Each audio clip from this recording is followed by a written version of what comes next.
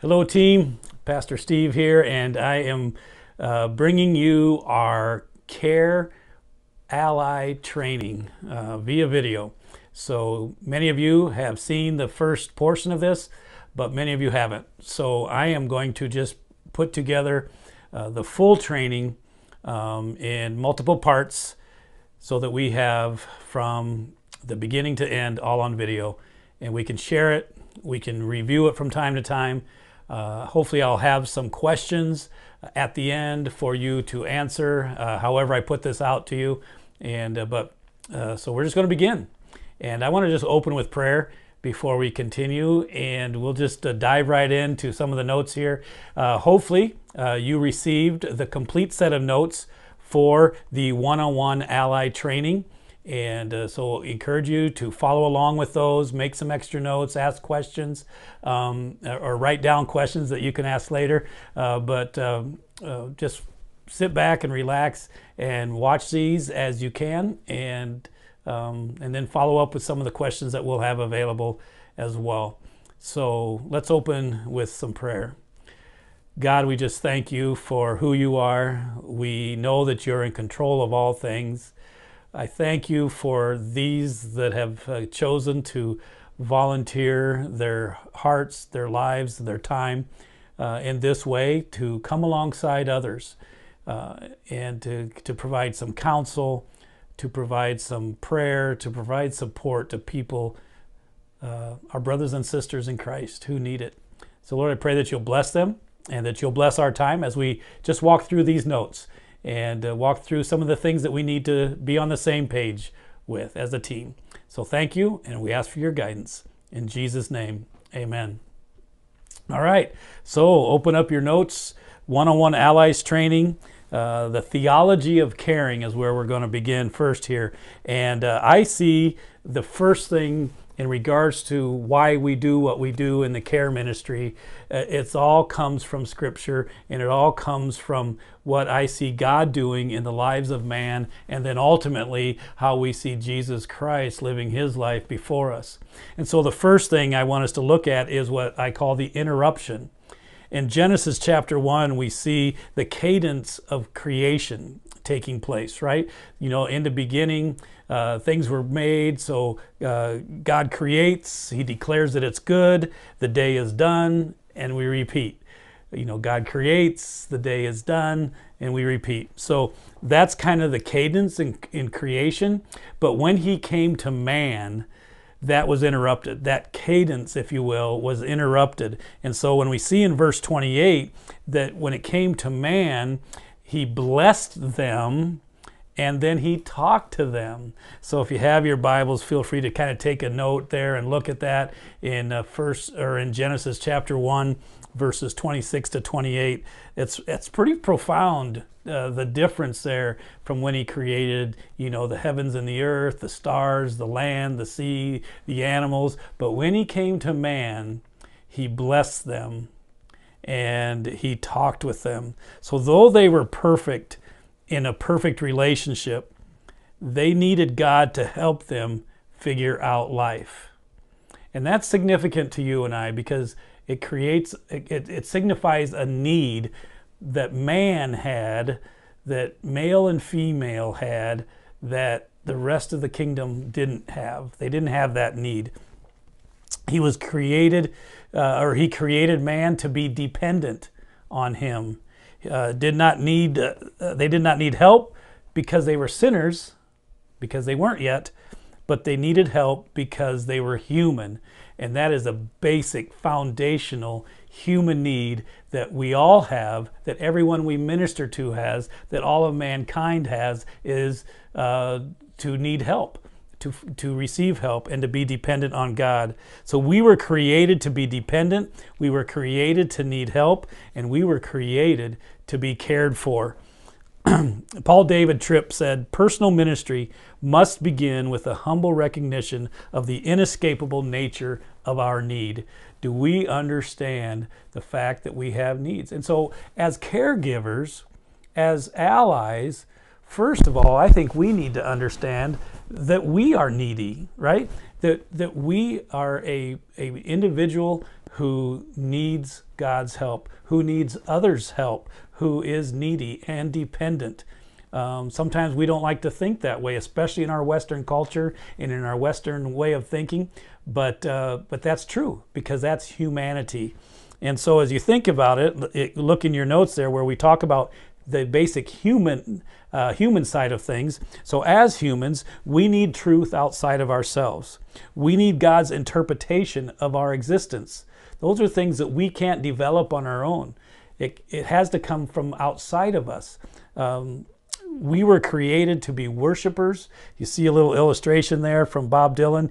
You know, he recognized that you got to love somebody, right? You're going to have to serve somebody. It's going to happen. History past, every people group, every tribe, every uh, nationality, group of any kind, that you will find that they there was some kind of worship there was some kind of recognition of, of a higher being of a creator and uh, to worship was a great need that was there. And so we were created to be worshipers. So the very foundational uh, reality of humans is that we we need truth outside of ourselves and we need God's interpretation of our existence to tell us our purpose, to tell us what we have, and we're dependent. And so we're dependent, we're in need, and uh, that's our basic uh, our basic makeup. now, take that a step further as Christians, so here we are as followers of Christ seeking to help others. What does that mean for us? Well, um, is the Bible and the Holy Spirit enough? And it's it's it's almost like uh, uh, borders on blasphemy to say no, it's not. But that's what God. This is how God laid it out, right? He's given us His Scripture. All Scripture is is given and is is uh, God breathed for all that we need in Scripture. So there is a sufficiency in Scripture, and the Holy Spirit's provided everything we need for life of godliness. Uh, scripture tells us that too. So the Bible and the Holy Spirit, in one sense, are enough, but God had other plans, and, uh, and that is to include the body of Christ. God chooses to use people to share His word and to encourage with the work of the Holy Spirit, all three working together. So, in one sense, the Bible and the Holy Spirit are enough, but really, in the whole picture, He needs you and I, uh, or He doesn't need you and I, He has chosen to use you and I. In fact, you look in all of Scripture, from the Genesis to Revelation, all the activities in the history of mankind, and you'll see that God used people to bring about what he wanted to bring about or change what he wanted to change. Outside of creation, everything he did through people. That was God's choice. That was God's MO, if you will. And I could even argue that creation uh, was that way, is that there were three involved with the Trinity. Uh, but either way, the fact is that people are important. Hebrews chapter 3 reminds us that, that believers are working together. There's a warning about working together and being together and uh, to provide answers to one another. God chose people in the body of Christ to be there, to bear one another's burdens, to help one another, to meet that need, to point to the dependence in Christ. And so it's all together. And that's where we as Christians come into play there as well. So that's a little bit of the interruption that we see in God uh, in establishing as humanity our basic need. We, we, we need help and we need God to inform us. And uh, that's a, a beautiful thing to realize and to come to grips with. and then, secondly, the thing in this first session I want us to look at is Jesus' example of, of caring. In regards to this theology of caring, as I call it, uh, we want to look at Jesus' example. And uh, you see in your notes there the key to relationships, the key to caring is an understanding of the incarnation because it is Jesus' personal model for us. The incarnation of Jesus Christ. Jesus, God in the flesh, Jesus becoming man down to earth to meet us where we are at. That event, that incarnation of Jesus Christ, beautiful and perfect example of, of how we can care as, as how he reached out to man. Um, it's hard for us to fully grasp um, that God became man and was 100% God and man. In, in, in theology, we call that the hypostatic union 100% God, 100% man in one person. Um, yeah, we don't, it's hard to grasp that. We can acknowledge it and we can believe it, but to truly get it, I don't know that it's possible. But anyway, uh, it's there, it's true. Um, our religious senses are not completely satisfied with that. Um, it sounds almost scandalous to, to think that, that God came to earth in the form of a servant. Um, we struggle with the reality of who Jesus was and how he lived. Um, you know, we see that even in some of the songs. You see some examples there in your notes uh, of our decor of Jesus looking quite you know, like he just came from the hairdresser, um, and, and, you know, beautiful complexion and and uh, perfect, um, and yet he probably wasn't like that. Um, even our song "Away in a Manger," uh, you know, uh, no crying he makes. The song says, well, you know, that's making him other than human um, in a lot of ways. But the truth is, it's who he was. And uh, so we have some, some key points to consider in Jesus becoming man that teach us. The reason we're going to look through this is it teaches us how to have compassion, how to care, and how to, it's just that foundational theology behind what we do as one-on-one allies. Okay, so strap your uh, strap in your seat and uh, let's take a look at the incarnation as we see it laid out in Philippians chapter 2 verses 5 through 11. Again, that's Philippians chapter 2 verses 5 through 11. You can just follow the notes, or if you have your Bible, it's a great place to, to have your companion there with you as well. So the first point I want us to see is, is Christ's involvement with man, his involvement. In other words, in Philippians chapter 2, verse 7, the latter part, it says he was born as a human being. John 1.14 reminds us of this. There's some other passages there. I'll give you, uh, won't reiterate and read all those uh, in this video, but uh, take a look at those. They're in your notes. Uh, Matthew 1.23, Philippians chapter 2 altogether. But we must become accessible to others by intentionally placing ourselves in the midst of their subculture because that's what Jesus did. He involved himself in humanity. And uh, that's what we want to do. That's what we're called to do. Um, we get objections uh, we may have objections, and you can see kind of the list there. Um, I don't feel comfortable in those situations. I don't have time to do this. Uh, they really wouldn't want me to be there, and uh, it's not that important. It won't make a difference, uh, and on and on the list can go, right? Um, and then there's some responses to that. So take it, take some time to look through those as well, and to be familiar with some of those, and and just remind yourself what Christ is doing for us and what he's called us to do by following his example. So there's being involved with with others, being involved. Christ showed us that. And then not only did he get involved, but there's uh, his appreciation for man. Um, the first part of verse 7 in Philippians chapter 2, we see that he gave up his divine privileges and his and positioned himself as a slave. That's kind of the summary there, right? He gave up his divine privileges he didn't stop being God, but he gave up his divine privileges and became in the position of a slave. That that's remarkable in and of itself, right? But he did that because he had such great interest and genuine love for man, for mankind. That's why he did that. He uh, it, uh, a couple other passages there in your notes, Luke seven thirty four, uh, just participated in the culture because he had such interest and love and care for us.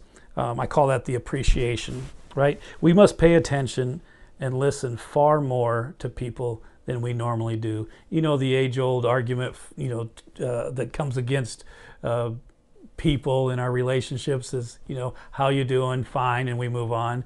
And we're not really wanting to know how they're doing. We, it's just something that, that sounds nice and we say.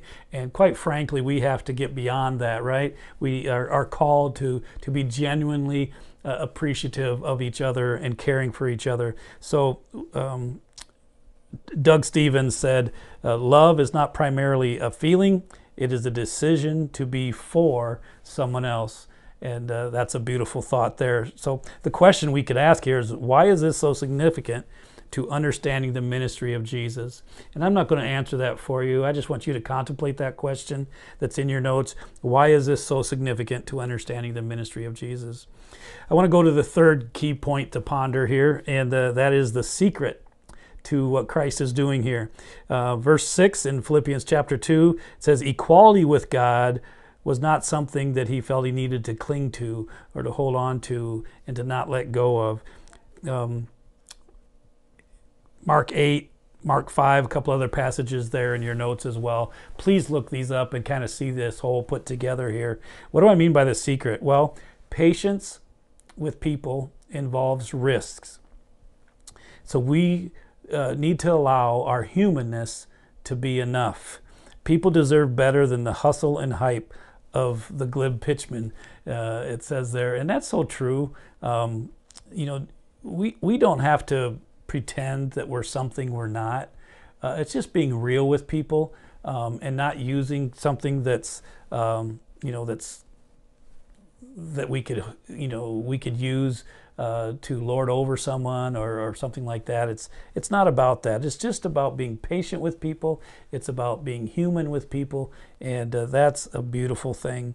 And the question there for you to consider: How are you challenged by the secretive, incognito nature of the ministry of Jesus? You see, Jesus came as a servant, came as a human being. He didn't come in, you know, in a huge chariot from the sky and big robes and crown and you know with with uh, an army to take over and, and to say, hey, uh, he just came quietly and just hum- humanely, humanly, right? Um, something to think about. I think that's profound. Uh, another key in this incarnation example from Jesus Christ is the healing.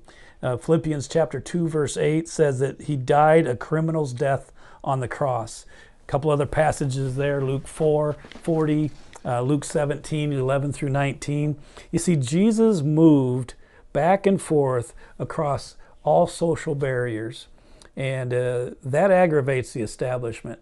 Um, we don't like to think of Jesus as mingling with who he mingled with, right? At least the church typically and traditionally doesn't care for that. We like to think of, of you know, there's a you know there's something that you need to mix and that's that's not what jesus brought. He brought healing to all and to especially those who needed it. You know you often hear a kind of a cliche but it's true. The church is meant to be a hospital not a country club. And uh, that's what jesus gave us an example for um, bringing reconciliation. And when you do that that causes disruption. Um, there's a note there about a song called My Jesus by Todd Agnew. I encourage you to, to give a listen to that. We listened to that in the live class a while back, and uh, I just, it's just a powerful song. Uh, it, it, rocked my world several years ago when I first heard it, and it just gives us that, that picture of the healing and, and reality and humanness of who Jesus was and his heart for us. Uh, the next point I want us to look at is the strategy of Jesus. In Philippians 2:20, this is stepping ahead outside of the actual account of the incarnation, but we see that that Paul is, re- is sharing all this, and then he says, in in regards to someone that he's working with, he's, he's wanting them to welcome Timothy. And he says, I have no one else like Timothy. So what's happening here later on in the, in the passage of Philippians chapter 2? And you can see the same idea take place in John 3 and in Luke 9. And it's, it's a strategy of winning people. And uh, it's investing in people to win people to Christ so that they can do the same. It's multiplying. It's, it's people through people through people. Again, God has chosen, He's given us His Word, He's given us the Holy Spirit. But who's He given the Holy Spirit to? You and I. So He wants to use people, and that's His strategy. People, people like you, uh, our care allies, to do just that. So there's a question there who are you investing in?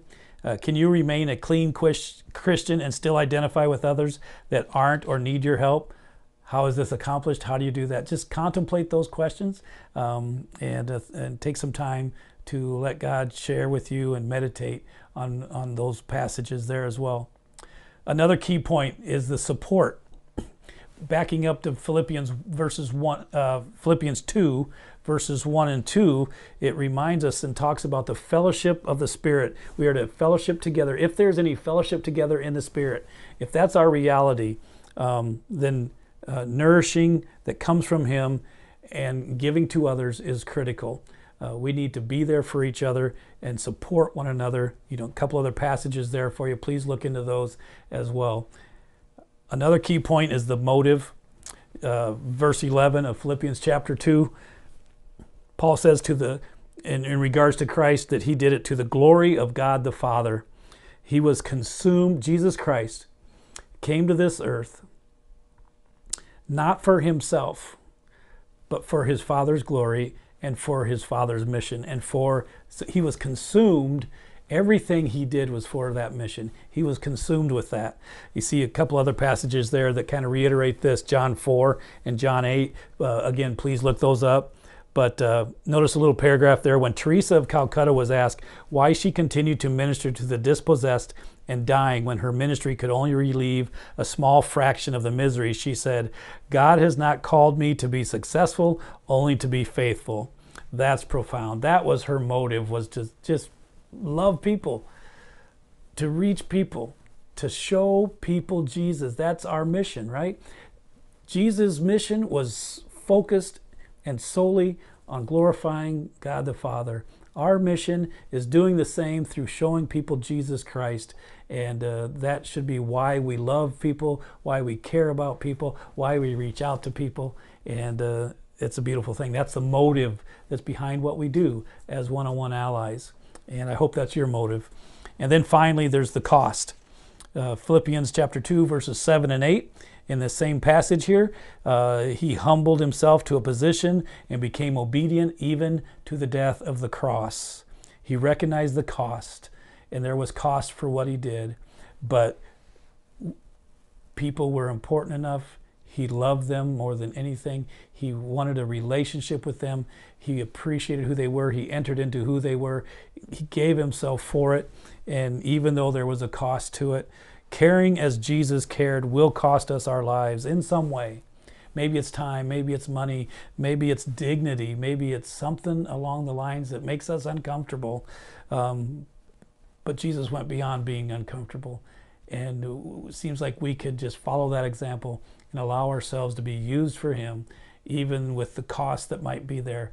And it's a, it's a beautiful thing when God has laid on your heart to be a, an ally, to come along somebody that's hurting and in need, because in some ways you, you will be, you, there will be a cost. You, there will be a sacrifice of time. There will be a sacrifice of, of uh, you know, giving part of yourself or, or just taking time with someone um, and even kind of feeling in a, in a, uh, uh, a, uh,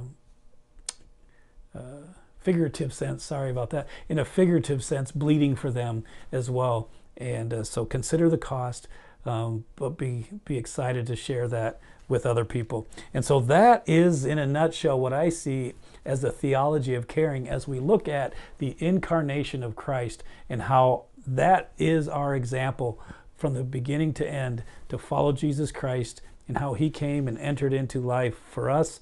We can enter into life for others. And with that, we'll close session one and we'll continue on in your notes uh, looking at the biblical foundation next time. Thank you.